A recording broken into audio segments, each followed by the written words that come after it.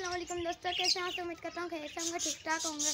और अभी हम लोग सेटअप तो यहाँ पे सारा फैला हुआ है वो देखें, सारा का सारा यहाँ पे फैला हुआ है सब कुछ। और हम यहाँ पे देखें, यहाँ पे एक पिंजरा बना रहे हैं अपने खरगोशों के लिए, इसलिए वो जो छोटी सी जगह है, बहुत ज़्यादा वहाँ पर वो सही से रह भी नहीं पा रहे हैं। हम लोग अभी इसको हमने, ये अच्छा खासी बड़ा था, हमने इसको पूरा ऐसे काट दिया है, इसका आधा इससे दिखाते हैं, वो कहाँ गया हुआ है। और अभी आपको आधा हिस्सा दिखाते हैं, ये देखें, इसका आधा हिस्सा ये पड़ा हुआ, सारा फैलावा हो रहा है, अभी हम इसको बनाने की कोशिश कर रहे हैं।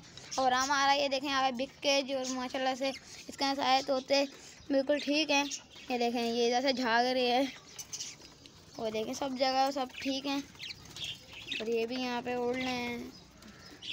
तो हम ज़्यादा अंदर नहीं जाते हैं, इसलिए यहाँ पे अंदर जाएँगे, फिर ये बहुत ज़्यादा तंग होते हैं। आपको और परिंदे भी दिखा रहे थे हमारे और परिंदे क्या कर रहे हैं। तो अभी आपको दिखाते हैं यहाँ के तोते तो ये देखें इधर के बच्चे ही बड़े हो चुके हैं।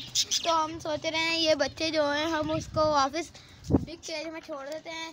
इसलिए बिग केज में आराम से रहेंगे और खुली जगह पे उड़ते भी रहेंगे और ये आराम से ठीक रहेंगे, बहुत अच्छे भी लगेंगे। फिर ये वहाँ पे उड़ेंगे फ्लाई करेंगे और अभी हम ऐसा करते हैं, इनको रख देते हैं उस पिंजरे के अंदर, छोड़ देते फिर अच्छे लगेंगे।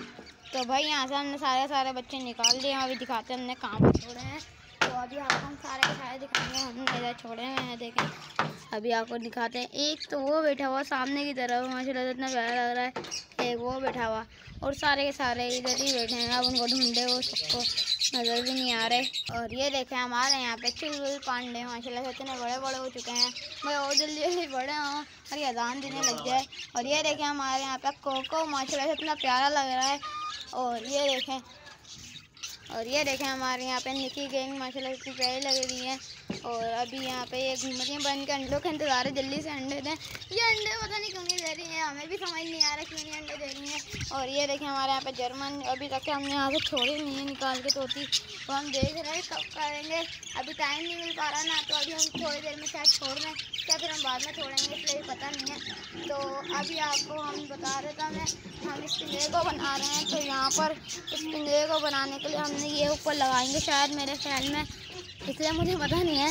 और ये देखिए, माशाल्लाह, इतना प्यारा बन रहा है। इसका लुक मैं आपको पूरा एक साथ दिखाऊँगा। तो अभी थोड़े से ब्रेक के बाद मिलेंगे। इसलिए अभी ये पूरा कंप्लीट नहीं हुआ है। धूप भी आ चुकी है। और देखें, सामने की तरफ़ ही सूरज है। और बहुत तेज धूप आ रही है। और हमारे से अभी काम भी नहीं करा जा रहा है इतना।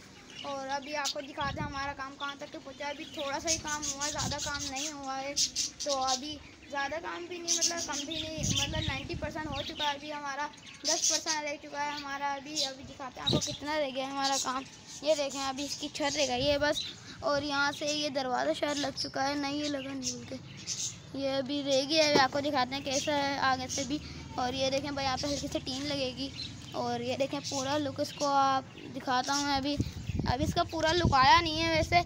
अभी इसको हम दो बनाएँगे। इसके आधा किसी और का होगा, आधा किसी और का। हम ऐसा बनाना चाह रहे हैं। इसलिए बहुत ज़्यादा टाइम लग रहा है। ये देखें, इसका भी दरवाज़ा लगा है यहाँ पे। इसको खोल सकते हैं हम। यहाँ से दरवाज़ा खुलेगा और ये बंद हो जाएगा। एक तो ये लगा है और एक ही ये लगा है, ये देखें, इधर से भी हम देख सकते हैं। और अभी यहाँ सिर छत रह गई है।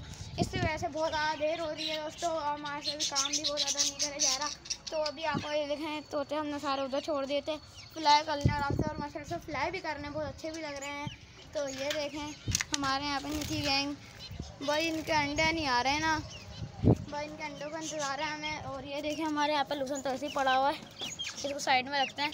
तो हमारे देखें चुलबुल पांडे। लूसन के पीछे लगे हैं वन को चुलबुल पांडव हमारे। बलूसा नहीं खिलाते रहो। इनकी तबीयत भी थोड़ी ख़राब है ना, इसलिए हम ज़्यादा खिला नहीं रहे हैं इनको हम। और ये देखें हमारा बिग कैच तो इसका नाम मैं रखने का सोच रहा हूँ।